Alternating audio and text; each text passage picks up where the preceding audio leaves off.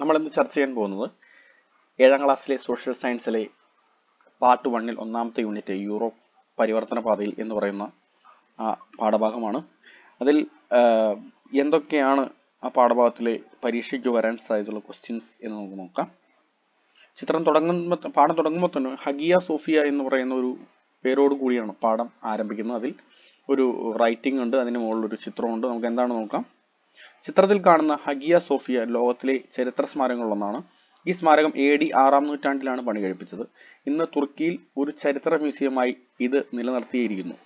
മനോഹരമായ വാസ്തുവിദ്യയുടെ ഉത്തമ മാതൃകയായ ഹഗിയ സോഫിയയെ പോലുള്ള നിരവധി ചരിത്ര ശേഷിപ്പുകൾ കോൺസ്റ്റാന്റിനോപ്പാളിലുണ്ട്. ഇത്തരം ചരിത്ര സ്മാരകങ്ങൾ നിലനിന്നിരുന്ന കോൺസ്റ്റാന്റിനോപ്പാളിന് ലോക ചരിത്രത്തിലുള്ള പ്രാധാന്യത്തെ പറ്റി നിങ്ങൾക്കറിയാമോ എന്നുള്ളതാണ് റൈറ്റിംഗ് അപ്പോൾ ഇതിനകത്ത് നമുക്ക് വേണമെങ്കിൽ ഒരു ക്വസ്റ്റ്യൻ ആയിട്ട് എടുക്കാം. എന്ത്?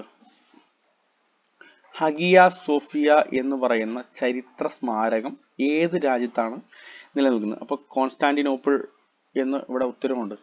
ഇങ്ങനെ ഒരു ചോദ്യം നമുക്ക് പ്രതീക്ഷിക്കാം. പല ചോദ്യങ്ങളുണ്ട്. ഇതുപോലത്തെ ബന്ധപ്പെട്ട പല സംഭവങ്ങളുണ്ട്. ഇപ്പോൾ നമ്മൾ ഇന്ത്യയെ തന്നെ എടുക്കുകയാണെങ്കിൽ നമ്മുടെ സുൽത്താൻ കാലഘട്ടങ്ങളിൽ പല പല കുത്തബ് മിനാർ പോലുള്ള സ്മാരകങ്ങൾ ചരിത്ര സ്മാരകങ്ങളെ പറ്റി ചോദിക്കാറുണ്ട്. ചിലപ്പോൾ വേണമെങ്കിൽ നമ്മളുടെ എൽ പി പരീക്ഷ യു പി പരീക്ഷയൊക്കെ പാഠഭാഗത്തെ ആസ്പദമാക്കി വരുമ്പോൾ ഇതുപോലുള്ള ചോദ്യങ്ങൾ നമുക്ക് പ്രതീക്ഷിക്കാം. അപ്പോൾ ഹഗിയ സോഫിയ എവിടെ നിലനിൽക്കുന്നു എന്ന് ചോദിച്ചാൽ അതിന്റെ ഉത്തരം നേരെ വരികയാണെങ്കിൽ കോൺസ്റ്റാന്റിനോപ്പിളിലാണ് എന്ന് നമുക്ക് ഒരു സംശയമില്ലാതെ തന്നെ പറയാം. അപ്പോൾ ഈ ക്വസ്റ്റ്യൻ പഠിച്ചിരിക്കേണ്ടത് അനിവാര്യമാണ്.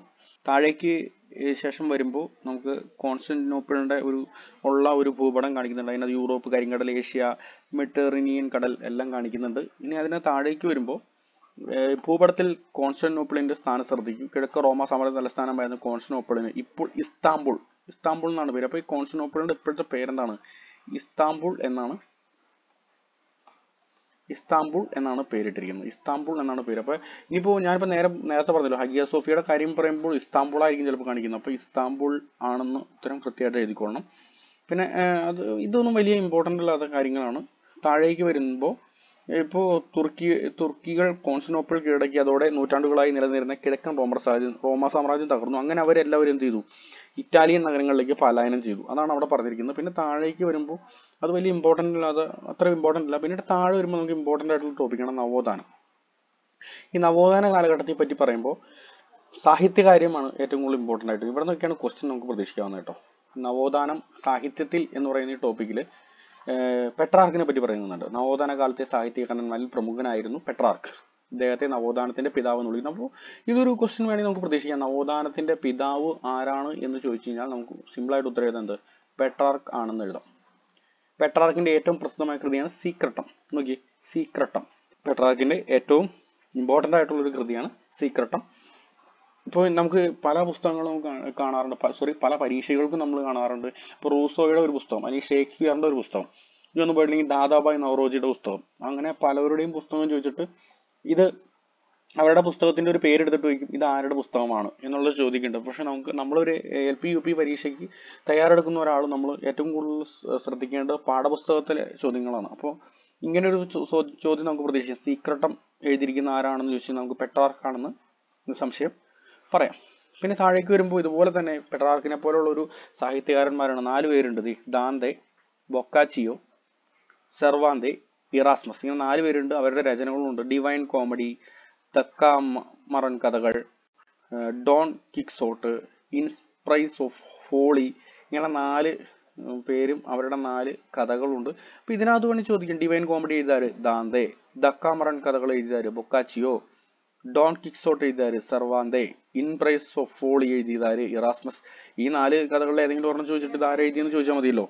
അതും നമുക്ക് പ്രതീക്ഷിക്കാവുന്ന ഒരു ക്വസ്റ്റ്യൻ ആണ്. പിന്നെ താഴെ കുട്ടികൾക്ക് എഴുതാൻ വേണ്ടി ഒരു ചെറിയ വർക്കിംഗ് സ്പേസ് ആയിട്ട് കൊടുത്തിട്ടുണ്ട്. അത് നമ്മൾ നോക്കേണ്ട കാര്യമില്ല. അപ്പോൾ ഈ പേരുകളൊക്കെ ഒന്ന് പഠിച്ചു വെക്കുന്നു. അതൊക്കെ ഒന്നൊരു നോട്ടപ്പ് നോട്ടായിട്ടൊന്ന് എഴുതിയെടുക്കുന്നത് വളരെ നന്നായിരിക്കട്ടെ. എപ്പോഴും നമുക്ക് ഇത് എടുത്ത് നോക്കാൻ പറ്റില്ലല്ലോ. പിന്നെ അതുപോലെ തന്നെ നവോത്ഥാന സാഹിത്യത്തിലെ പോലെ ഇമ്പോർട്ടന്റ് ആണ് നവോത്ഥാനം. കലയിൽ എന്ന് പറയുന്ന ഈ ടോപ്പിക്കും. അതിനകത്ത് താഴേക്ക് വരുമ്പോൾ നമ്മളുടെ ഡാവിഞ്ചി ലിയനാർഡോ ഡാവിഞ്ചിയെ പറ്റി പറയുന്നുണ്ട്. അദ്ദേഹത്തിന്റെ മൊണാലിസ അവസാനത്തെ അത്താഴം ഇതൊക്കെ അതിനകത്ത് സൂചിപ്പിക്കുന്നുണ്ട്. അപ്പോൾ ഇതൊക്കെ ചോദിക്കാം. അവസാനത്തെ അത്താഴം വരച്ചത് ആര്? എന്നും പറഞ്ഞിട്ട് ഒരു നാല് ഓപ്ഷൻ തന്നു കഴിഞ്ഞാൽ നമുക്ക് കൃത്യമായിട്ട് അറിയണം അത് ആര് എഴുതി വരച്ചതാണ്. ലിയനാർഡോ ഡാവിഞ്ചി ആണ് എന്ന് കൃത്യമായിട്ട് നമ്മൾ മനസ്സിലാക്കിയിരിക്കണം. അതുപോലെ തന്നെ താഴെ ലിയ മൊണാലിസയുടെ ചിത്രം വരച്ചിട്ടുണ്ട് വെച്ചിട്ടുണ്ട്. അത് ഇപ്പോൾ ഇതിനകത്ത് ഇമ്പോർട്ടന്റ് ആയിട്ടുള്ളത് ഇത് വരച്ചത് ലിയനാർഡോ ഡാവിഞ്ചി ആണെന്നും ഇത് സൂക്ഷിച്ചിരിക്കുന്നത് പാരീസിലെ മ്യൂസിയത്തിലാണ് എന്നുള്ള കാര്യവും നമ്മൾ ഓർത്തിരിക്കേണ്ടതാണ്. ഇനി താഴേക്ക് വരുമ്പോൾ അവസാനത്തെ അത്താഴം ലിയനാർഡോ ഡാവിഞ്ചി അത് വരച്ചിരിക്കുന്നതാണ് അവസാനത്തെ അത്താഴം ലിയനാർഡോ ഡാവിഞ്ചി ഒരു കാലത്ത് ഡാവിഞ്ചി കോഡ് എന്നൊക്കെ പറഞ്ഞുകൊണ്ട് നടത്തിയിരുന്നു അപ്പോൾ അവസാനത്തെ അത് ഓർത്തിരിക്കാൻ വളരെ എളുപ്പമുള്ളതുകൊണ്ട് പറഞ്ഞുകൊണ്ടോ അവസാനത്തെ അത്താഴം ലിയനാർഡോ ഡാവിഞ്ചി അന്ത്യവിധി മൈക്ലാഞ്ചലോ മൈക്ലാഞ്ചലോടെ പ്രശസ്തനായ മൈക്ലാഞ്ചലോടെ വരെയാണ് അന്ത്യവിധി. താഴേക്ക് വരുമ്പോൾ ഏതൻസിലെ വിദ്യാലയം. അത് റാഫേലിന്റെ ചിത്രരചനയാണ്. അങ്ങനെ ഈ നാല് വേണമെങ്കിൽ ഓരോ അവസാനത്തെ അത്താഴം വരച്ചതാര് അന്ത്യവിധി വരച്ചതാര് ഏതൻസിലെ വിദ്യാലയം വരച്ചതാര് എന്നുള്ള ചോദ്യമൊക്കെ നമുക്ക് പ്രതീക്ഷിക്കാവുന്നതാണ്. ഇനി താഴേക്ക് വരുമ്പോൾ വാസ്തുവിദ്യയെ പറ്റിയാണ്. അപ്പോൾ ഇതിനകത്ത് നോക്കി ഫ്ലോറൻസിലെ ബാപ്റ്റിസ്റ്റ് പള്ളിയുടെ വാതിൽ ലോറൻസോ ഗിബർട്ടി അദ്ദേഹമാണ് അത് തയ്യാറാക്കിയിരിക്കുന്നത്. അപ്പോൾ അതൊരു വാസ്തുവിദ്യ പര- പരമായിട്ടുള്ള കാര്യങ്ങളാണ്.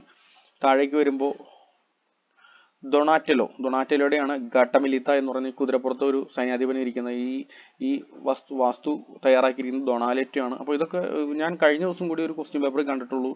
ഈ ഗാട്ടമിലിത്ത ഒരു ഓപ്ഷൻ ആയിട്ട് വന്നിരുന്നു. എനിക്ക് അറിയില്ലായിരുന്നു അത് ആരാണ് തയ്യാറാക്കുന്നത് ഇപ്പോൾ മനസ്സിലായി ഡൊണാറ്റലോ ആണ് അത് ചെയ്തത് എന്ന കാര്യം മനസ്സിലായി. അപ്പോൾ ഇതൊക്കെ നമ്മൾ പ്രത്യേകം നമ്മൾ ഒരു നോ- ഒരു ബുക്ക് എടുത്തിട്ട് ഓരോ ചാപ്റ്റർ വൈസ് തിരിച്ച് ഞാൻ പഠിപ്പിക്കുന്ന കാര്യങ്ങളോ അല്ലെങ്കിൽ നിങ്ങൾ പഠിച്ചു നിങ്ങൾ പലരും ഈ പുസ്തകങ്ങൾ എടുത്ത് പഠിക്കുന്നുണ്ട്. അപ്പോൾ ഒരു നോട്ടായിട്ട് എഴുതി വെക്കുകയാണെങ്കിൽ പെട്ടെന്ന് നമുക്ക് ഓർത്തിരിക്കാൻ പറ്റും.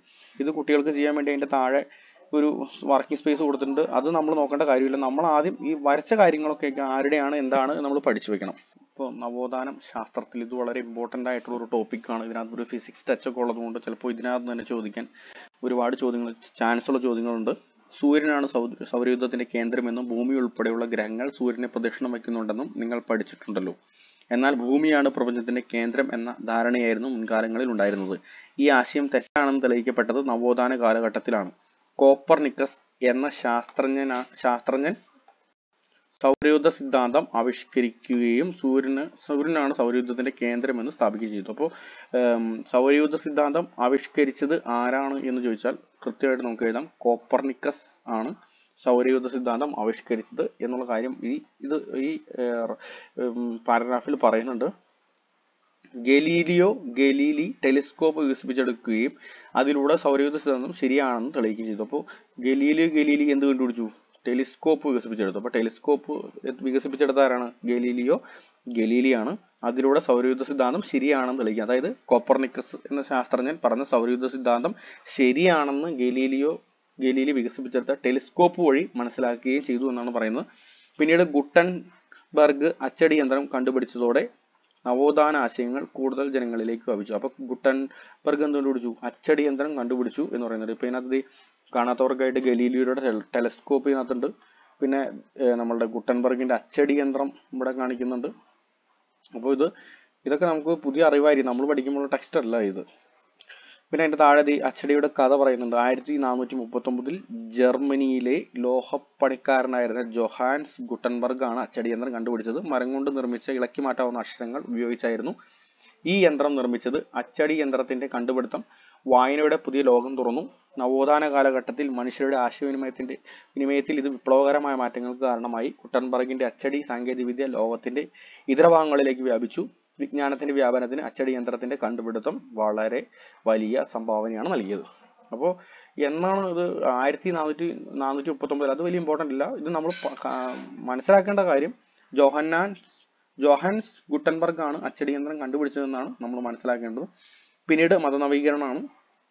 അതും അത്യാവശ്യം ചെറിയൊരു ടോപ്പിക്കാണ് നവോത്ഥാന ആശയങ്ങൾ മതരംഗത്തും സ്വാധീനം ചെലുത്തി പതിനാറാം നൂറ്റാണ്ടിൽ യൂറോപ്പിലെ ക്രൈസ്തവ സഭയിൽ ഉണ്ടായ പരിഷ്കരണം മതനവീകരണം എന്നറിയപ്പെടുന്നു. ജർമ്മനിയിലാണ് ഇത് ആരംഭിച്ചത്.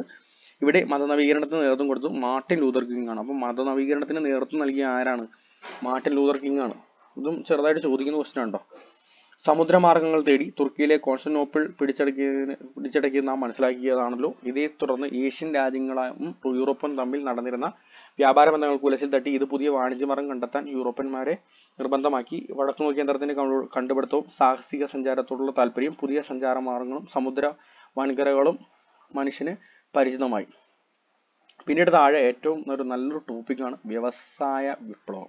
വ്യവസായ വിപ്ലവം ഒരു നല്ലൊരു ടോപ്പിക്കാണ് നവോത്ഥാനത്തെ തുടർന്ന് ശാസ്ത്രരംഗത്തുണ്ടായ പുരോഗതി പുതിയ യന്ത്രങ്ങളുടെ കണ്ടുപിടുത്തത്തിന് കാരണമായി യന്ത്രങ്ങൾ ഉൽപാദന രംഗത്ത് വലിയ മാറ്റങ്ങൾ കൊണ്ടുവന്നു. ഇത് ഉൽപാദനം പതിർമടങ്ങ് വർദ്ധിപ്പിക്കുന്നതിനും ഉൽപാദന ചെലവ് കുറയ്ക്കുന്നതിനും ഇടയാക്കി അപ്പോൾ ഈ വ്യവസായ വിപ്ലവത്തെ പറ്റിയാണ് ഇതിനകത്ത് പറയുന്നത് വ്യവസായ വിപ്ലവം ഇംഗ്ലണ്ട് ഇംഗ്ലണ്ടിലാണ് ആരംഭിച്ചത്. അപ്പോൾ ഇങ്ങനെ ചോദ്യം ചോദിച്ചാലോ?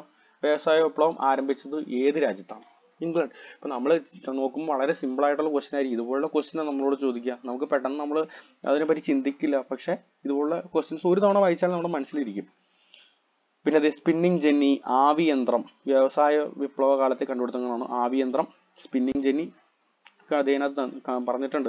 വ്യവസായ വിപ്ലവ കാലത്തെ കണ്ടുപിടുത്തങ്ങൾ. ഫ്ലൈയിങ് ഷട്ടിൽ ജോൺ കെ ആണ് കണ്ടുപിടിച്ചത്. സ്പിന്നിങ് ജെന്നി ജെയിംസ് ഹാർഗ്രീവ്സ് ആണ് കണ്ടുപിടിച്ചത്. ആവിയന്ത്രം James Watt locomotive George Stephenson അപ്പോൾ ഇത് ഈ പാഠഭാഗത്തിൽ ഈ ഇമ്പോർട്ടന്റ് ആയിട്ട് പറയുന്ന കണ്ടുപിടുത്തങ്ങളാണത്. ഇത് നിങ്ങൾ കൂടുതൽ കണ്ടുപിടുത്തങ്ങൾ നമുക്ക് മനസ്സിലാക്കണമെങ്കിൽ നിങ്ങൾ എന്താ ചെയ്യേണ്ടതെന്ന് വെച്ച് കഴിഞ്ഞാൽ നമ്മളുടെ ഒരു നല്ലൊരു ഗൈഡൊക്കെ ഒക്കെ കഴിഞ്ഞ് കഴിഞ്ഞാൽ നല്ലൊരു ഫയൽ നല്ലൊരു കമ്പനിയുടെ ഒരു ഫയൽ വാങ്ങിച്ച് നമ്മളത് പഠിക്കുകയാണെങ്കിൽ കൂടുതലായിട്ടുള്ള കണ്ടുപിടുത്തങ്ങൾ നമുക്ക് മനസ്സിലാക്കാൻ സാധിക്കും. ഇനി ഇത് നോക്ക്. സംഗ്രഹം. സംഗ്രഹത്തിലേക്ക് നോക്ക്. സംഗ്രഹത്തിൽ ഈ പാഠവ ഈ പാഠത്തിന്റെ അതായത് ഒന്നാം ചാപ്റ്ററിന്റെ ഫുൾ അത്യാവശ്യം വേണ്ട കാര്യങ്ങളൊക്കെ അതിനകത്ത് ഉണ്ടാവും ഇതേനാ നവോത്ഥാനത്തിന് തുടക്കം കുറിച്ചത് ഇറ്റലിയിലാണ്. ആരാണ് നവോത്ഥാനത്തിന് തുടക്കം കുറിച്ചത്? നവോത്ഥാനം തുടക്കം കുറിച്ച് ഏത് രാജ്യത്താണ് ഇറ്റലിയിലാണ്? മാനവികത നവോത്ഥാനത്തിന്റെ പ്രധാന സവിശേഷതയായിരുന്നു സാഹിത്യം കല ശാസ്ത്രം മതം എന്നീ രംഗങ്ങളിൽ നവോത്ഥാന സ്വാധീനം ചെലുത്തി കടൽ വഴിയുള്ള കച്ചവടം പാതകം കണ്ടെത്താൻ ശ്രമിക്കുകയും അതുവഴി യൂറോപ്യന്മാർ പല ഭൂഖണ്ഡങ്ങളിലേക്ക് എത്തിച്ചേരുകയും ചെയ്തു. വ്യവസായ വിപ്ലവം ഉൽപാദന രംഗത്ത് മാറ്റങ്ങൾ സൃഷ്ടിച്ചു. പ്രധാന പഠന നേട്ടങ്ങൾ ഇതൊക്കെ ഒന്ന് വായിക്കുന്നത് നല്ലതായിരിക്കും കാരണം പാഠത്തിന്റെ അവസാനം കുട്ടികൾക്ക് വേണ്ടിയുള്ള ഒരു ഇത് സംഭവമാണ്. സംഗ്രഹവും പഠന നേട്ടവും. സംഗ്രഹവും പ്രധാന പഠന നേട്ടങ്ങളൊക്കെ ഒരു അധ്യാപക വിദ്യാർത്ഥി അല്ലെങ്കിൽ ഒരു L P S U P S test എഴുതാൻ പോകുന്ന ഒരാൾ പ്രത്യേകം അറിഞ്ഞിരിക്കേണ്ട കാര്യം നമ്മൾ ടീച്ചർമാരിൽ ഉൾപ്പെടുന്ന കാര്യമാണ്. അപ്പോൾ അതൊക്കെ പ്രത്യേകം ശ്രദ്ധിക്കുക അതൊക്കെ ഒന്ന് ഒന്ന് വായിച്ചു നോക്കുക എന്തൊക്കെയാണ് സംഭവം എന്ന് കൃത്യമായിട്ട് നമുക്ക് മനസ്സിലാവും. ഇതോടി ഈ പാഠം ഏറെക്കുറെ അവസാനിച്ചിരിക്കുകയാണ്. പാഠം അവസാനിച്ചിരിക്കുകയാണ്. ഇതുണ്ടോ? ഇതൊരു ഒരു നമുക്ക് ചെയ്തു നോക്കാൻ വേണ്ടി ഒരു സംഭവമാണ്. മൊണാലിസ വരച്ചത് ആര് മൊണാലിസ വരച്ചത് ആരാണ്? മൊണാലിസ വരച്ചത് ലിയനാർഡോ ഡാവിഞ്ചി ആണ് ഏതൻസിലെ വിദ്യാലയം വരച്ചത് റാഫേലാണ്. ഗാട്ടമലീത്ത വരച്ചത് ഗാട്ടമലീത്ത ആരുടെയാണ്? ഡൊണാറ്റലോ ആണ്. അന്ത്യവിധി മൈക്കിളാഞ്ചലോ. ഉണ്ടോ ഇത് നമ്മൾ ഒരു തവണ വായിക്കുമ്പോഴേക്കും നമ്മുടെ കാര്യങ്ങൾ നമുക്ക് മനസ്സിലാവും. തെറ്റുണ്ടോ എന്ന് ഞാൻ പിന്നീട് നോക്കിയിട്ട് പറയാം. നിങ്ങൾക്ക് ഇപ്പൊ തന്നെ മനസ്സിലാവും ഞാൻ ചെയ്തത് തെറ്റുണ്ടോ എന്ന്. ഞാനിത് പഠിച്ചിട്ടില്ല. അപ്പോൾ അതൊക്കെ നിങ്ങൾ ഒന്ന് ഒരു നോട്ടിലൊക്കെ എഴുതി വെച്ച് മാക്സിമം സ്കോർ ചെയ്യാൻ നോക്കുക. നിങ്ങൾ ഈ ചാനൽ സപ്പോർട്ട് ചെയ്യുക. നിങ്ങൾക്ക് ഈ ചാനലിൽ നിന്ന് പഠിക്കാൻ പറ്റുന്നുണ്ടെങ്കിൽ മാത്രം നിങ്ങൾ ഈ ചാനൽ സബ്സ്ക്രൈബ് ചെയ്യുക. നിങ്ങളുടെ കൂട്ടുകാരും പരീക്ഷയ്ക്ക് തയ്യാറെടുക്കുന്നുണ്ടെങ്കിൽ അവർക്ക് ഈ ചാനൽ ഷെയർ ചെയ്യുക. അങ്ങനെ എല്ലാവരും റാങ്ക് ലിസ്റ്റിൽ വരട്ടെ എന്ന് ആശംസിക്കുന്നു. നന്ദി. അടുത്ത എപ്പിസോഡിൽ കാണാം.